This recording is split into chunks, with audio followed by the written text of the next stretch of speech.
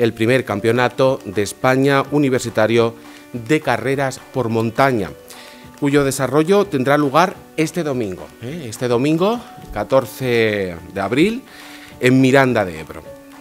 Este campeonato, organizado por la Universidad de Burgos en colaboración con el Club Mirandés de Montaña y bajo el amparo de la Federación Española de Deportes de Montaña y Escalada, que seguro que les suena, el FEDME, marca de forma destacada un hito relevante en la conmemoración de la efeméride de creación de nuestra institución. Seremos en esta ocasión anfitriones de 117 participantes, 117 participantes procedentes de 11 comunidades autónomas. El desafío que presenta el recorrido de 20 kilómetros y medio con 1.230 metros de desnivel positivo y 1.325 metros de desnivel negativo es tan exigente como inspirador.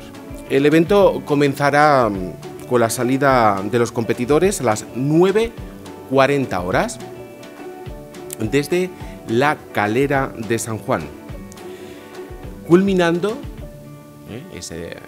ese, recorrido, esa eh, marcha, con una ceremonia de entrega de premios a las 14-15 horas en el Parque Antonio Machado. Los equipos eh, pueden estar formados por un máximo de hasta 8 componentes en categoría masculina y 8 en categoría femenina. Ese es el máximo. Pero eh, con que haya tres competidores ya puntuarían como equipos. Entonces va a haber una clasificación individual femenina, clasificación individual masculina clasificación por equipos masculina y femenina y luego va a haber una clasificación mixta. Para la mixta puntuarán los dos mejores clasificados de cada universidad en categoría femenina y masculina.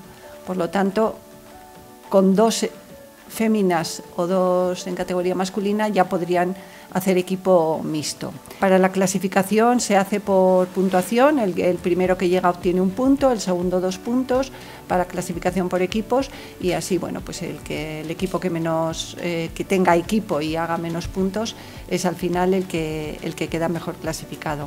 Es la primera vez que se organiza el Campeonato de España Universitario de Carreras de Montaña, sí.